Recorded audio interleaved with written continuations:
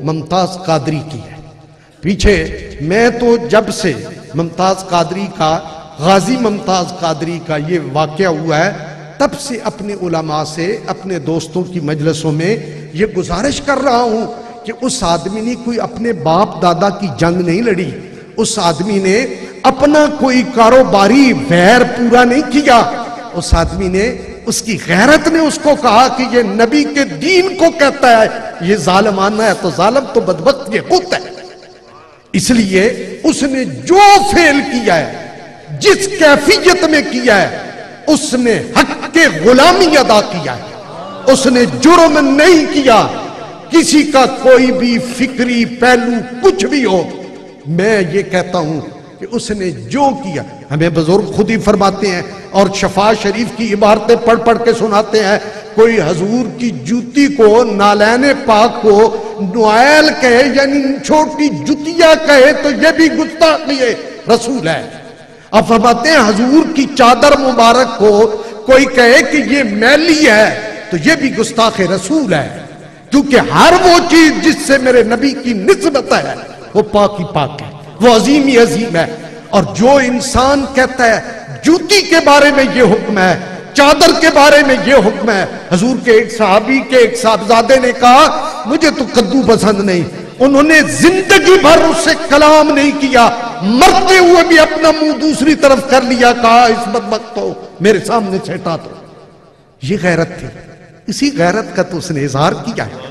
اسی غیرت کا تو وہ علم بردار بنا ہے۔ ہمارے اگر حکمران انگریز ہوں تو ہم سارے اکٹھے ہو جائیں۔ اب اگر مسلمان جی انگریزوں والی حرکتیں، گستاخوں والی حرکتیں کرے تو ہم ان کے سامنے نہ بولے یہ کوئی بات نہیں ہے۔ اس لیے ہم اس ممتاز غازی ممتاز قادری کے ساتھ ہیں۔ ہے نا؟ آپ بھی سارے لوگ ساتھ ہیں۔ ہم اس کے ساتھ ہیں۔ میں حیران ہوتا رہا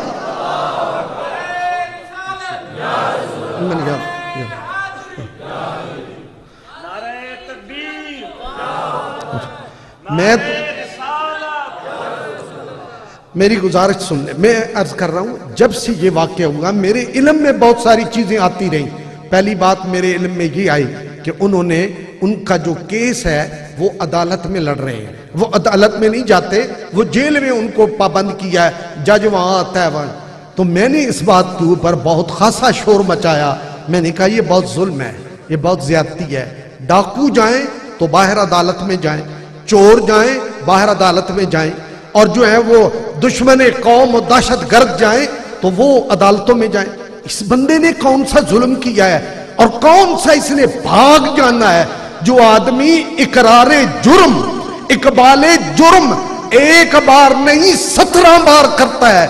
وہ بھاگنے والا تو نہیں ہے۔ نا اس نے بھاگ کے تو کہیں نہیں جانا۔ حق ہے اس کا کہ اس کو عدالت سے باہر لے کے جایا جائے۔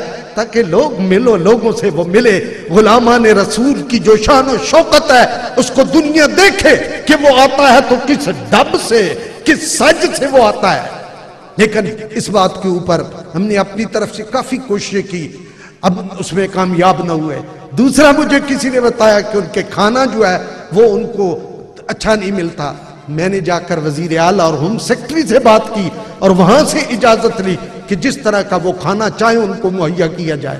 تیسری بات ان کی یہ تھی کہ وہ عدالت میں جب جیل میں عدالت لگتی تھی، عدالت کے سامنے انہیں کھڑا رکھا جاتا، ان کے ہاتھ میں اور ان کے پاؤں میں بیڑیاں اور زنجیریں ڈالی جاتی۔ میں نے اس پہ احتجاج کیا۔ میں نے کہا، جب تم ڈاکوؤں کو جیل میں ڈالتے ہو، تو ڈالنے کے بعد ان کی جیلی ہتکڑیاں کھول دیتے ہو۔ یہ کون سا بڑا بندہ ہے جس کو تم نے جیل میں بھی ہاتھ باندھ کے اس کو کھڑا کیا ہوا ہے؟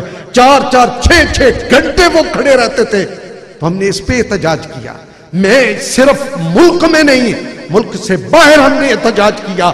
میں کراچی دیوبندی علماء کے پاس بھی گیا اور پھر میں نے یہاں اپنے ملک میں، اپنے لاہور میں مولانا مفتی محمد خان قادری کے پاس تمام اہل حدیثوں کو، تمام جماعت اسلامی کے لوگوں کو، تمام تنظیمات اسلامیہ کے جتنے حضرات تھے، جب جماعت اہل سنت کو، جامع اشرفیہ کے لوگوں کو، سب کو بلا کے ان سے کہا، کل محمد عربی کی منہ نہیں لگنا آپ نے۔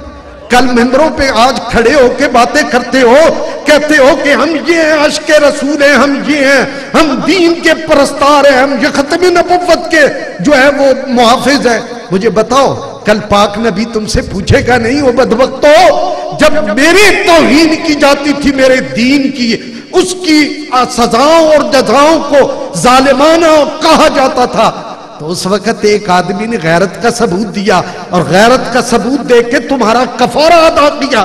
اب تم اس کے اوپر ایک جملہ نہ بولے، تم نے ایک کلمہ نہ بولا۔ اس لیے حضرات محترم، ہم اس لیے نہیں کہ اسے ضرورت ہے۔ محمد ممتاز قادری کو اس کی ضرورت نہیں ہے۔ وہ تو ہر روز انتظار میں ہوتا ہے۔ جب جج نے سزا سنائی تو پوچھا، شام تک اس پہ اوپر عمل ہو جائے گا نا؟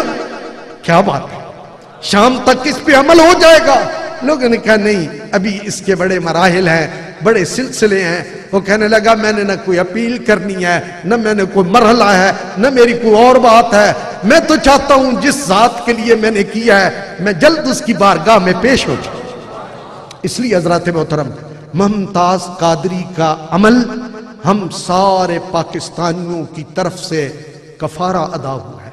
ہماری کوتاہیوں کا، ہماری لغزشوں کا، ہماری بے وقوفیوں کا، ہماری ان چیزوں کا۔ تو میں یہ عرض کرتا ہوں، میں نے سنا ہے، بعض علماء نے اس بارے میں اپنی مختلف رائے دی ہے۔ میں یہ بھی نہیں کہتا ہے جو مختلف رائے دے، اس کے اوپر آپ برسنا شروع کر دے میں یہ کہتا ہوں، جو آپ کو سمجھ آئے نا، اس کے اوپر عمل کریں مجھے یہ سمجھ آئی ہے کہ جو اس نے کیا، اس نے سچ کیا حق کیا